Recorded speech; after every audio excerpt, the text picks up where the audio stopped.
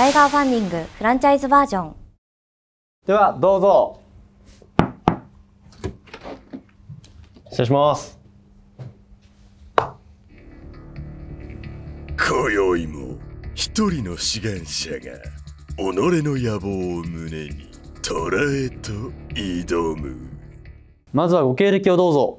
1994年生まれ。えー、神戸大学卒。その後、えー、SIR の会社で1年エンジニアをしそこからフリーランスとして働き始め5年目の山本と申します。よろしくお願いします。では今回の希望金額と出資形態を教えてください。1000万円を希望します、えー、投資形態は投資です。あなたが思い描く未来の姿は？本当にいいフランチャイズを紹介しフランチャイズ業界のイメージを変えたい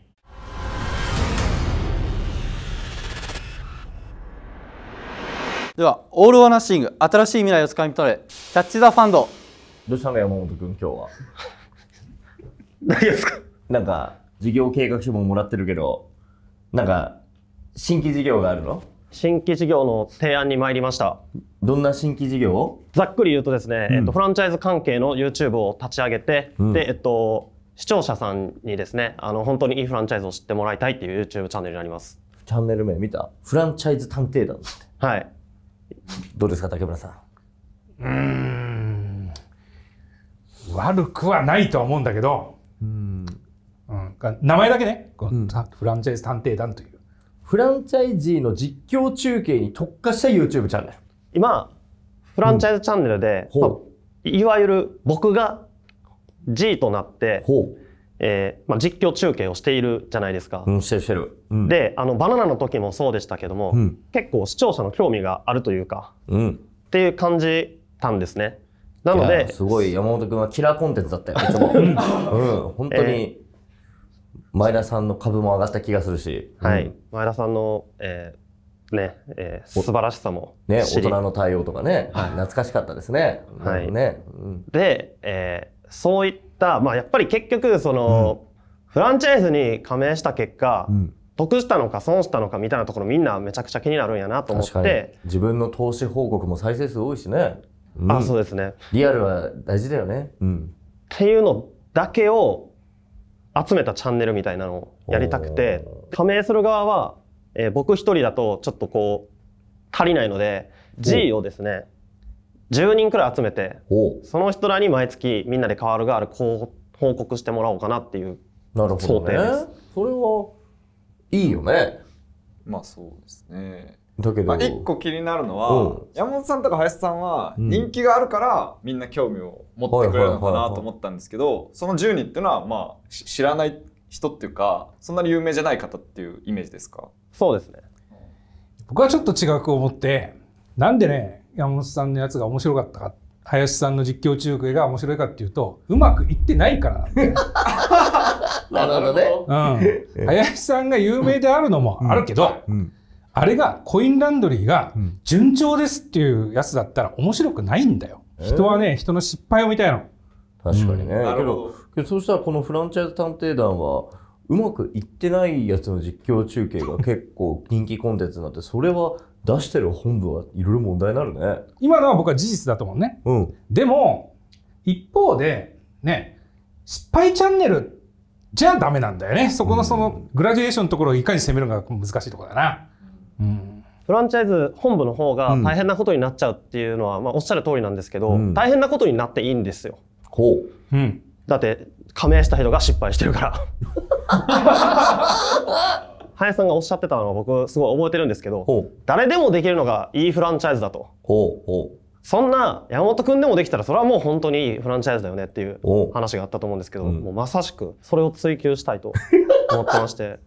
ね、じゃあ、俺でもできなかった曲がりでバナナはいいフランチャイズじゃなかったと。まあこの理論にのっとればそうなってしまいますでね、けどさ、お家でお肉だって売り上げあんま高くないでしょ？はい。ねけどそれは山本くんがクレジットカード対応してないからでしょ？間に合いませんでしたねえ、それでオープンしちゃったから、それで、クレジットカード対応できない俺でも売り上げ上げろってのはまた無理だしね。黒字なんでまあそうね。まあすごい。すごい自信。今のところはおうちでお肉は僕の中ではまあ黒字だったんでいいフランチャイズになってますね。なるほどね。これを別チャンネルにすべきか、株式会社 FC チャンネル代表林直弘年商は衝撃のゼロ。学生企業から快進撃。フランチャイズで全国制覇を果たした実績とノウハウを武器に虎の子のビジネス拡大を支える。サービスですよフランチャイズの王が志願者に試練を与え物語を新しい未来へと導くこれを別チャンネルにすべきか、フランチャイズチャンネルの1コンテンツでやるかが悩むところですよね。で一応この今日の提案は、新規のチャンネルとして、えー提案で、山本くんが MC とマネージャーをするから、この1000万ぐらい、1年間で1000万ぐらいかかる。あと LINE 構築とかそういうのがかかってるってことかな？2年ですあ、2年？はい ?2 年で1000万かかるんだ。2年にしましたやっぱり YouTube って伸びるの時間かかるかなとか思って2年で1000万で足りる？なんか足りない気するけど。売り上げがある程度上がる見込みだからってこと？はいあ、そういうことか。多分、この加盟金の半分もらうのは難しいんじゃないかな。え、この加盟金が、え、今のと、目今の流れだと、御社に入るってことですか？半分。はい あ、なるほど。それ競合じゃないですか、じゃあ。いやいやいや、まあそれ大丈夫ですよ。あ大丈夫ですか？うん仲いいから。あ、なんか、うん、G の実況中継をして、どうしようか？それに、本部が宣伝で出してくれるってことかな？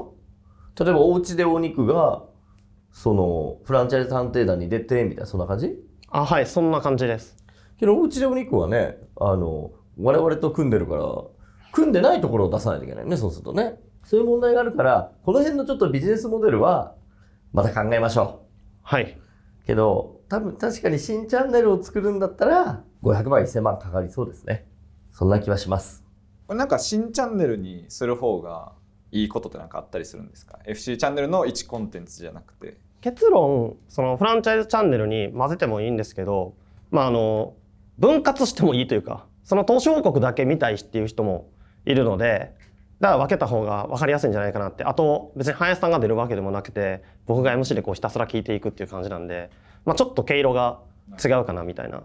で毛色が違うってなったら、まあ、分けた方がこう視聴者の混乱を招きにくいというか誰が出てくれるかな ?G で。いっぱいいる？まあ確かに、前田さんとかに頼めば、いくらでも加盟してる人は死ぬほどいるよね。僕たちの周りね。うん。G に声かけてみたんですけど、えーもう3人くらいは OK もらってて例えば？えっとちょっと僕の友達とかになるんですけど。ブランドの名前ですよねうん。え？それは、あの、加盟してる人？あそうですだなので ZA の許可はもらってないです G は、まあ、別にそのデデメリットがあんまないというか別に出るメリットもあんまないんですけど、ん。なんで集めれると思うんですけどその ZA を集めるところが難しいかもしれないと思ってます出演していいよっていう本部ってこと？はい。うーん。こういうのって本部の許可やっぱりいるんですか？それはいるねあ。あやっぱりいきなり出たら、あの、何言われるかわからないと思う。あただもちろん、竹村義弘事務所代表竹村義弘30年間で50を超える FC の立ち上げに関わってきたこの男 YouTube フランチャイズチャンネルを拠点に生み出したサクセスストーリーは数知れず FC 業界のストーリーテラーは志願者を主人公にいかなる物語を作り出すのかただもちろん出てほしい人もいると思うよ、本部としてはね。本部に話をして、えー本部に営業をかけて話をして、それは成功事例みたいな人を本部としては出したいわね。っていう流れもあるとは思うけど。はいそれも地道にベタにやれば、あのー出るとは思うよ。でもそうすると、本部から紹介の人だけじゃ、今度は番組的に面白くなくなると思その本部に加盟予定の G をアサインしたいんですよねう。うん。じゃあ本部がこう売り上げを左右できないのでリアルな結果が分かるとそれは本部の方で自信がある本部でね、よし、この企画を持ち込んで、やれ、やってうまくいったら絶対プラスになりますよっていう話企画を持ち込むってことだね。はい。まあ乗ってくるところはそこそこあるような僕は気はしますけど、50今の話なら。年収チャンネルみたいに、あのー覆面でそのそのフランチャイズの実態とかいう企画は考えてる？構想にあったんですけどそぎ落としました、おうなんで？え なんか邪魔かなと思って。だけどそれは逆にあの本部の許可を取らずに出れるからそれ、年収チャンネルのそのフランチャイズ版を山本君が全部仕切ってやってくれたらすごい助かるしフランチャイズチャンネルでもやろうと思ったらできるんだけどフランチャイズチャンネルに危険が及びそうだから、お宝屋から訴訟されたりとかしたらめんどくさいからあくまでもその、えー山本君が勝手にやってるっていう体で あって言ったら助かるかな。それは。勝手にやってるやつね。うん。林さんが好きなやつね。それは別チャンネルですごくニーズもあるしそれはいいかもしれない。それはどう？加盟してる人が本部の許可なく覆面でバンバン出て実態を探すセブンイレブンンの赤字店舗のオーナーさんとかに出てもらうってことですけどね。それも山本君全部仕切ってくれる。はい。うん。なるほどそれだったらいろいろできそうだね。そんなに使える時間あるんですか山本さん。なんかお忙しいのかなと思ったんですけど。あの実は結構暇です。お。西八王子まで行ってんだから。あそっか。暇だよ。そっか。1日3時間移動してんだから。1日じゃねえか。はい。あとちゃんとこれあの山本君の生活費もちゃんと入ってるかこれ。うん。ディレクション料とか案件取りに来たようなもんだからはいはい。大丈夫です。じゃあ真面目にやってくれ。る、うん。そうね。面白いチャンネルにするとなるとやっぱりある程度ちょっとグレーなところを踏まないとね、うん。いけないってところだよね。だから辞めた人の話ってのは結構ねバカバカしてるとこあるけど今リアルなのってやっぱり本部との関係でちょっと言えないみたいになっちゃうよね。でそこがでも世の中には知れ渡ってないっていうところがそれは事実だから。はい。あとやっぱり林さんのやつが面白いっていうのはやっぱじ時系列ね。来月どうなるの？来月はそういうふうになって追っかけるから面白いんだって。単発じゃなくてね。だからそれ追っかける形にするのはいいと思う。追っかける感じで10社ずーっと定期的にやってそれを年間枠で本部に買ってもらってもいいかそうそう。もしれない、ね、だから僕は本部にね、えーうんもう全部オープンにした方がいいと。うんうん。だから別に10人います。その本部に加盟予定の人がね。で、そのうち全部が成功しなくていいわけだよね。できる人もいればできない人もいるわけだから。で、それをずっと毎月毎月、もうそれこそ A からね、えー10人いて、その成績をこう出していくと。はいで、この人とこの人は何が違うんで出てもらって話聞くっていう。そういうんだったら乗る本部はあ多いし、逆にそれに乗ってくる本部はいい本部だと思うよ。なるほどね、うんオープンにするんだから。自信もあるだろうし。だからまあこのチャンネルが面白いから一部スポンサーになるよっていう人もいるかもしれないね、それでお金を集めてみますかまあ10って言ったけど8でもいいんだけど、んそういうのって、うん、僕でもあんまり見たことがないよね。自分が関わってるとこだったらわかるけど、他の会社のが本当8人が行ってどうなるのかなんて。うんうん例えばそれはアントレにむちゃくちゃいい、ね、いいこと言って広告出してるとこでも、いや、これ嘘っぱしい。でもうまくいく人もいく人もいるわけだからさ。そう考えていくとまあ井口さんとかねおうちでお肉の井口さんのがまず実況中継に出ればそのおうちでお肉と、えーエドモンドが分かるよね、うん。おうちでお肉のハムさんとエドモンドさんが別途この実況中継に、うん。あのお金を払ってくれると。費用を負担してくれるっていうんだったらこのチャンネルの運営費用が出るね。はい。そしたらなんとか運営費用は出るかな。山本君の生活費は出るかな。はい突如山本が志願者の席に座り始まったタイガーファンディング。視聴者のために本当にいいフランチャイズを知ってもらいたい。リアルな声を届けるために立ち上がった山本の思いは果たして虎たちに伝わるのか？ではラストステートメントどうぞ。本当にいいフランチャイズを、えー世の中に発信していきたいのでよろしくお願いします。どうもね、笑っちゃうんだよね。ねでもね、あのー面白いとは思います。まあ、林さんは心の中で決めてるんでしょうね。とは思いますけど。伊藤取締役が我が社の新規事業としてこれは投資していいかをちょっと判断しているあれ面白いなと思いましたね内容なんかたまにあのやっぱコメント欄とかでも多いんでなんかその後どうなったんだって気になってる人とかだからそういう層に刺さるんじゃないかなと思いましたまあ未完成な部分もねあるしなんかすごい面白そうだとは思うんだけど1000万は高いなって思うかな500万ぐらいはいいと思うんだよで500万足りないじゃんこれ知ってる？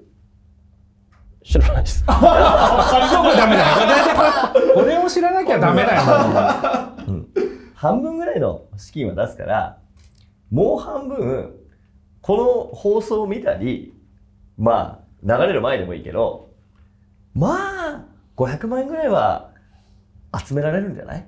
月々10社募集するからそれでスポンサーしてくださいでもいいし広告でもいいしねあのフランチャイズチャンネルみたいなう後ろにさ電車走らしてさはい。そこの枠を売ってもいいし、なんで、この話をして、き賛同してくれる会社さんに、もう500万円分、予算を、あの、スポンサーを見つけてきてください。